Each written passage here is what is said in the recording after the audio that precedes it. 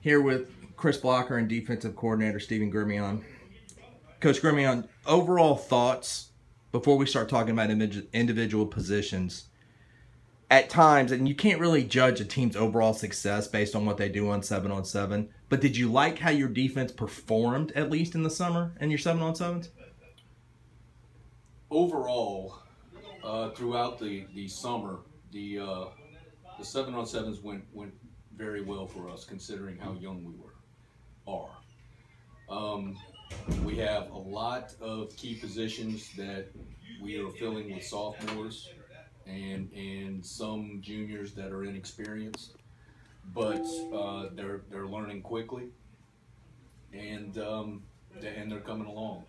We're, kind of the same question I asked Coach Blocker with these young kids. Now, granted, you always want to win every game you play, 2017, but the chance to, with how young your team is, where we're teaching these kids and then they just don't turn around and graduate. We get to teach these kids and then next year they're going to have a better understanding all that stuff.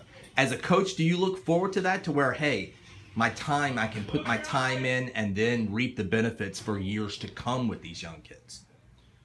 Yeah, and throughout the years, uh, I, we've been in these situations before where we, we played a lot of young kids early, uh, taking our bumps and bruises, big learning curve, but it pays off uh, uh, next year and the year after, uh, such as uh, two years ago.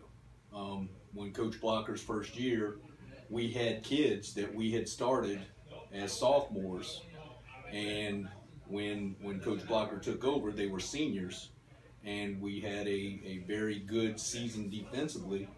Um, and they understood the season going for you know I mean understood the system. Excuse me, which makes a huge difference. And again, how much of this is as the season progresses, your team your team may be a lot better at the end of the season than they are at the beginning of the season. Is that usually what happens with a young defense? Yeah, because as they learn the basics of what we do defensively, uh, you're able to add more to the defense as the season goes along.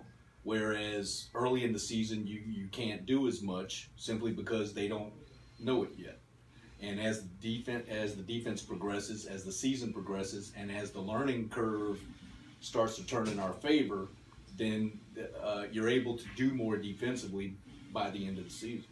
All right, Coach Blocker, we're going to start. I like to start when we do defense outside in up front. And Coach Gremillion, you can add anything by any specific players that he may not even well, know about. I was going to tell you when Coach uh, uh, talked about some of the inexperience and, and, youngness that we have there on defense, as, as, offensively speaking, as I said earlier.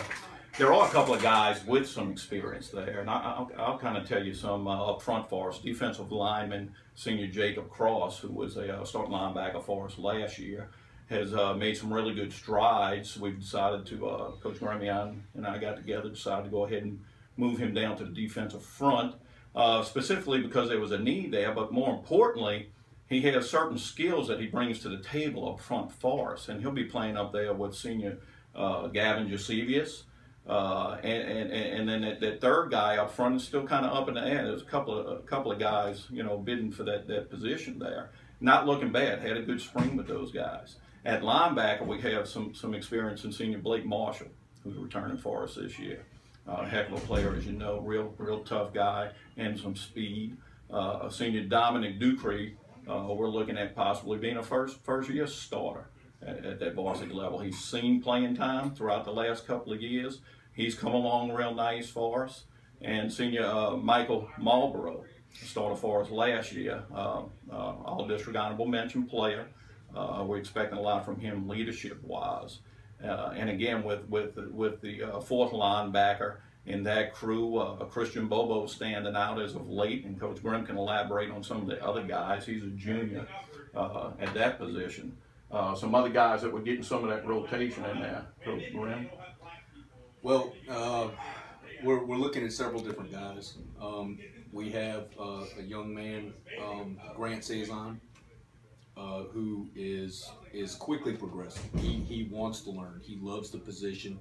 Uh, he is a, a hundred mile an hour type of kid, and uh, we just have to get him over that learning curve, and he's definitely going to see playing time.